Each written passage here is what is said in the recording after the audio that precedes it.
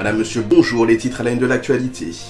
Deux individus recherchés mortellement blessés à bon repos. Au cours d'une opération menée à Canaan 3, lundi, deux auteurs ont été mortellement blessés lors des échanges de tirs. Julien, surnommé Tibos, qui a succombé à ses blessures, était fiché au grand banditisme, recherché pour viol, vol à main armée, association de malfaiteurs, selon les témoignages recueillis auprès de plusieurs victimes par la police.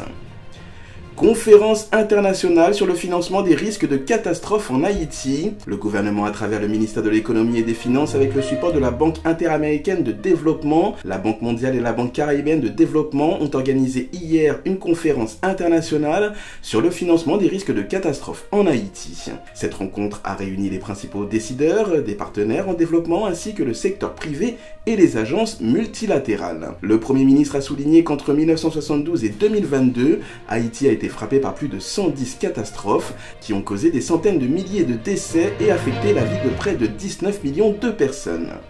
Complot contre les dirigeants du SDP, le commissaire du gouvernement alerte la DCPJ. Dans une lettre adressée aux responsables de la DCPJ, le commissaire du gouvernement de Port-au-Prince, maître Jacques Lafontan, informe que le parquet dispose d'informations à partir de sa structure de renseignement, selon lesquelles quatre personnalités politiques seraient visées par une attaque criminelle. Selon le chef du parquet, il s'agit de Edmond Supplice-Bozil, André Michel, Nénel Cassi et Marjorie Michel. Cette même source a également confié qu'un ex-policier est un individu non identifié ont été engagés pour exécuter ce contrat.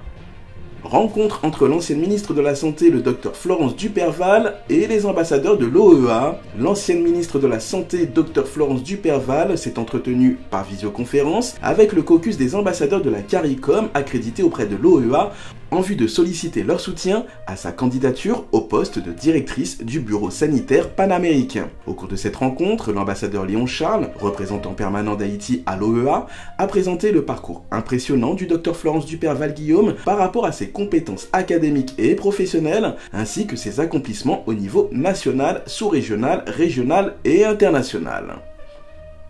L'équipe haïtienne confirme sa supériorité en infligeant un 6-0 à Cuba. La sélection féminine a fait plier Cuba 6-0 pour terminer en tête du groupe E dans le cadre des qualifications du championnat féminin de la CONCACAF qui se tiendra cette année du 4 au 18 juillet au Mexique. Après avoir effacé les îles Vierges britanniques 21 buts à 0, les Grenadières ont décroché leur ticket d'entrée pour s'envoler vers le Mexique cet été. À présent, jetons un coup d'œil sur l'actualité internationale. En Afrique du Sud, plus de 250 morts après les inondations qui ont frappé le pays, un bilan humain terrifiant et d'énormes dégâts matériels, de fortes précipitations ont provoqué des inondations sans précédent ayant conduit à la mort d'au moins 253 personnes à Durban, sur la côte est de l'Afrique du Sud, mardi, selon un bilan des autorités locales diffusé aujourd'hui. Le président sud-africain Cyril Ramaphosa s'est rendu dans la matinée auprès de familles endeuillées, promettant l'aide du gouvernement à un père de famille qui avait perdu ses quatre enfants.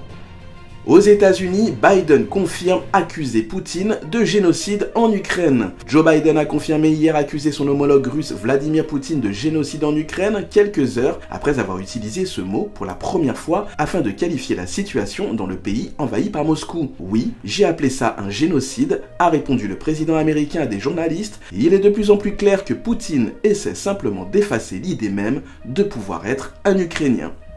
Il est l'heure d'ouvrir notre page culturelle et on commence tout de suite avec le roman Petite fille bleue de Louise Bernard, lauréat du prix des Champs 2021. Lors de sa 46e édition, la Fondation Lucienne Deschamps a organisé une cérémonie officielle de remise du prix des Champs 2021 vendredi dernier. Selon l'auteur Evelyne Trouillot, présidente du jury, le prix des Champs récompense l'excellence du roman de Louise Bernard Henry, La Petite fille bleue.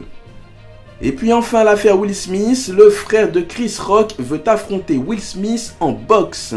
Kenny Rock, acteur et frère de Chris, a récemment signé un contrat avec un promoteur américain pour un combat de célébrité en boxe au cours du mois de juillet. S'il n'a pas d'adversaire pour l'instant, le principal intéressé a affirmé vouloir combattre Will Smith, une proposition qui a très peu de chances d'aboutir, d'abord parce qu'il est peu probable de voir Will Smith monter sur un ring, ensuite parce que Jack Paul a déjà proposé 30 millions de dollars à ce dernier, mais aussi à Chris Rock pour les voir réunis avec des gants de boxe. Allez, c'est tout pour aujourd'hui, c'était les titres à la de l'actualité. Je vous donne rendez-vous d'ici 30 minutes pour une nouvelle édition sur Juno 7.